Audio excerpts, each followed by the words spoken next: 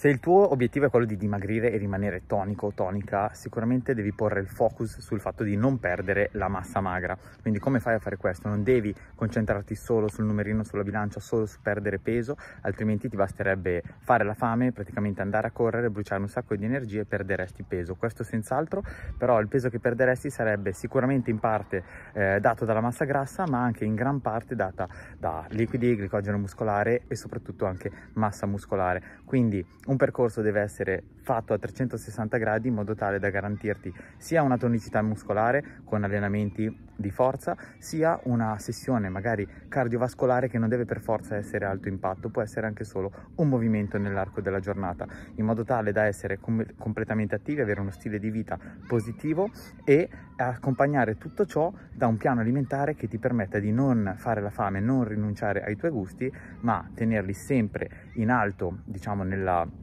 piramide della, delle tue priorità semplicemente bilanciando con tutto il resto della tua giornata. Quindi se vuoi informazioni sui nostri percorsi di coaching scrivimi qui sotto.